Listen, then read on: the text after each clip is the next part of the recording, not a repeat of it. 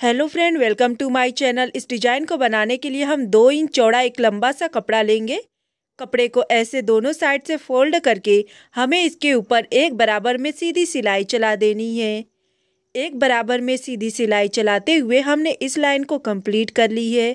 अब हम यहाँ से धागा को कट करेंगे और इस चौड़ी पट्टी की हमें कटिंग करनी है। तो कटिंग करने के लिए हम पाँच इंच की लंबाई नापेंगे, यहाँ से कट कर लेंगे। सेम साइज़ का ऐसी हम ढेर सारी कटिंग कर लेंगे। तो ये देखिए, हमने ऐसी ढेर सारी कटिंग कर ली है। चौड़ी पट्टी की डिज़ाइन बनाने के लिए हमें एक लंबा सा कपड़ा लेना है। कपड़े की लंबाई हमने साढ़े सत्रह इंच ली है और इसकी चौड़ाई हमने साढ़े तीन इंच ली है। कपड़े पे इस्त्री की सहायता से हमें बाक्रम को चिपकाना है। यहाँ पे तीन इंच की लंबाई नापकर हमें कपड़े को ऐसे फोल्ड कर लेना है। कपड़े को सीधा करते हुए चौड़ी पट्टी को ऐसे फोल्ड करके हम यहाँ पर लगाएँगे। ये देखिए, चौड़ी पट्टी की आपको ऐसी डिज़ाइन बनाकर कपड़े के ऊपर लगाना है और इसके किनारे की साइड में सिलाई चला लेनी है। बिल्कुल इसी तरीके से हमें सारे चौड़ी पट्टी को ऐसे फोल्ड करते हुए यहाँ पे लगाकर किनारे की साइड में सिलाई चला लेनी है। तो ये देखिए फ्रेंड, हमने एक साइड की लाइन कंप्लीट कर ली है। अब हम यहाँ से धागे को कट कर लेंगे। एक साइड में हमने नौ डिज़ाइन लगाई है। अब हम यहाँ से धागे को कट कर लेंगे। अब हमें डिज़ाइन के ऊपर यहाँ से सिलाई चलानी है। ये देखिए, सारे डिज़ाइन को परफेक्ट शेप में बैठाते हुए हम इसके ऊपर यहाँ पर सिलाई चला लेंगे। इस लाइन को कंप्लीट करने के बाद इस डिज़ाइन के दूसरे साइड में भी हमें सेम ऐसी डिज़ाइन बनाकर तैयार कर लेनी है। तो ये देखिए, दोनों साइड में हमने ऐसी सेम डिज़ाइन बनाकर तैयार कर ली है। अब हम यहाँ से धागे को कट कर लेंगे। दोनों साइड में सेम डिज़ाइन बनाने के बाद अब हमें डिज़ाइन में से एक्स्ट्रा कपड़े को कट करना है। तो ये देखिए, डिज़ाइन को ऐसे उल्टा करते हुए किनारे की साइड से एक्स्ट्रा कपड़े को कट कर लेंगे। एक्स्ट्रा कपड़े की कटिंग करने के बाद अब हमें दो इंच चौड़ा एक लंबा सा कपड़ा लेना है। इसे दोनों साइड से फोल्ड करते हुए हमें चौड़ी पट्टी की डोरी तैयार कर लेनी है।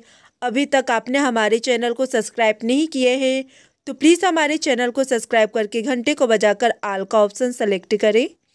इस चौड़ी पट्टी को हम बीच में से कट कर लेंगे ऐसे। सेफ्टी पिन की सहायता से अब हमें चौड़ी पट्टी को डिज़ाइन में ऐसे लगाना है। एक एक डिज़ाइन का हमें गैप छोड़ते हुए ऐसे चौड़ी पट्टी को डिज़ाइन में लगा लेना है। इस लाइन को कंप्लीट करने के बाद जो हमारा दूसरे साइड का डिज़ाइन है, उसमें भी हमें सेफ्टी पिन की सहायता से ऐसे चौड़ी पट्टी को लगा देना है। तो ये देखिए, डिज़ाइन के दोनों साइड में हमने चौड़ी पट्टी को लगा दी है। अब हम सुई धागा की मदद से डिज़ाइन के बीच में ऐसे मोती को लगा लेंगे। डिज़ाइन में मोती लगाने के बाद अब हम आस्तीन का कपड़ा लेंगे। ये रहा हमारा आस्तीन का कपड़ा। आस्तीन की लंबाई कितनी है, ये नाप लेते हैं। आस्तीन की लंबाई हमने बारह इंच ली है और इसकी चौड़ाई आप अपने हिसाब से ले सकते हैं। आस्तीन के कपड़े को ओपन करते हुए नीचे की साइड से इसे ऐसे फोल्ड करेंगे और एक बराबर में सीधी सिलाई चला लेंगे।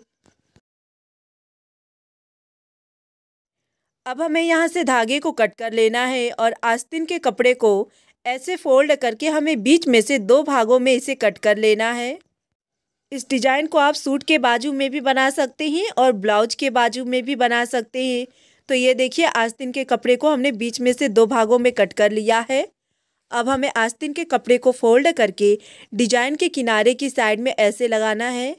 ये देखिए, डिज़ाइन के किनारे की साइड में ऐसे लगाएँगे इसे और इसके ऊपर एक बराबर में सीधी सिलाई चला लेंगे। सिलाई चलाते समय हमें आस्तीन के कपड़े को परफेक्ट शेप में ऐसे बैठाते रहना है। जिससे आपके डिज़ाइन में परफेक्ट फिनिशिंग आएगी और आपका डिज़ाइन इजीली तैयार हो जाएगा। इस लाइन को कंप्लीट करते हुए अब हम यहाँ से धागे को कट करेंगे। धागे को कट करने के बाद सेम स्टेप को फॉलो करते हुए डिज़ाइन के दूसरे साइड में भी हम आस्तीन के कपड़े को ज्वाइंट कर लेंगे। तो ये देखिए, आस्तीन के कपड़े को ऐसे फोल्ड करके डिज़ाइन के किनारे की साइड में लगाएँगे यहाँ पे। अब हमें इसके ऊपर एक बराबर में सीधी सिलाई चला लेनी है। इस लाइन को कंप्लीट करते हुए अब हम यहाँ से धागे को और एक्स्ट्रा कपड़े को कट कर लेंगे। एक्स्ट्रा कपड़े की कटिंग करने के बाद हमारा ये डिज़ाइन कंप्लीट हो चला है। तो आपको हमारी ये सिंपल सी और इजी डिज़ाइन कैसी लगी कमेंट में ज़रूर बताएँ। Thanks for watching my video